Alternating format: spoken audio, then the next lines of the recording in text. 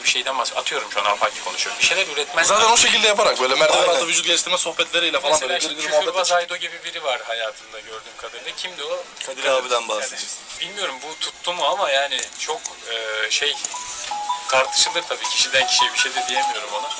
Yazmış bana DM'den geri dönmedim. Yanlış anlamasın. Ya da bunu da koymayabilirsin videoya. Yok Yani hocam, sorun şöyle e, şey yani öyle bir videoda yer almak istemedim. Bana göre değil, benim tarzım değil. Ben küfür eden bir adamım ama bu kadar bariz küfür etmiyorum. Videoda da bu kadar etmiyorum ve bunu göstermiyorum da çok. Şimdi ben videoda sürekli küfür edersem hoş olmuyor. Hocam ama onun özelliği o olduğu için öyle tutuldu Küfür zaten. et Kadir abinin özellik değil kardeşim. Kadir abi küfür ederek tutulan bir şey olduğu için öyle oldu. Dostum, Türk dizilerinde de küfür ediliyor. Doğrudur. Ben bu arada eleştirmiyorum. Yok, yok, haşa hocam. Konu açılmışken küfür etmek bir özellik değil. Bir eksiklik.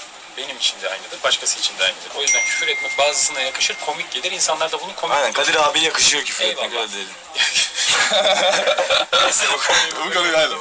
Beyler teşekkür ederim. Biz teşekkür ederiz hocam. Ben teşekkür ederim hocam. Görüşmek üzere. Memnun oldum hocam. Kendinize iyi bakın. Görüşmek üzere.